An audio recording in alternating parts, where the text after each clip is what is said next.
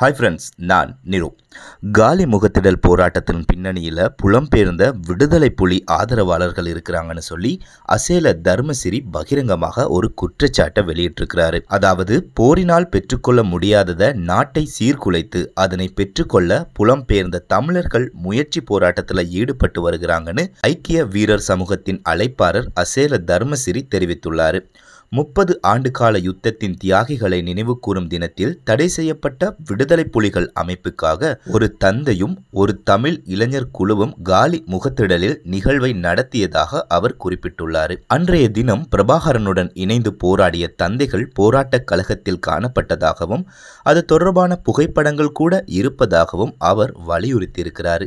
கண்டியில் நேற்று இடம்பெற்ற செய்தியாளர் சந்திப்பில் கலந்து கொண்டு பேசிய அவர் இதனை கூறியுள்ளார். தொடர்ந்து கருத்து தெரிவித்த அவர் புலம்பெயர் புலிகள் போராட்டத்தின் முன்னணியில் உள்ளதாகவும் அதன் உறுப்பினர் ஒருவர் அண்மையில் பகிரங்கமாக தெரிவித்திருந்ததாகவும் கூட அவர் குறிப்பிட்டுள்ளார். எமது வேலை திட்டத்தினால் முன்னாள் ஜனாதிபதி கோட்டாபய ராஜபக்ஷ நாடு விட்டு நாடு தாவ வேண்டிய நிலை ஏற்பட்டுள்ளதாக புலம்பெயர் தமிழ் மக்கள் அறிவித்துள்ள போதிலும் பிக்குகள் போராட்டத்திற்கு ஆதரவளிக்க முன்வந்துள்ளமை வருந்தத்தக்கது என்று சொல்லிக் கூட ஐக்கிய போர் வீரர் சமூகத்தின் அழைப்பாளர் அசேல தர்மசிறி தெரிவித்துள்ளார். முப்பத்தி இரண்டு வருடங்களாக இடம்பெற்ற கொடூர யுத்தத்தினால் இருபத்தி ஏழாயிரம் போர் வீரர்கள் கொல்லப்பட்டதாகவும் காயமடைந்த அறுபத்தி நாலாயிரத்தி அஞ்சூறு பேரில் பதினாலாயிரத்தி அஞ்சூறு பேர் தற்காலிக ஊனமுற்றுள்ளதாகவும் தர்மசிறி தெரிவித்தார்.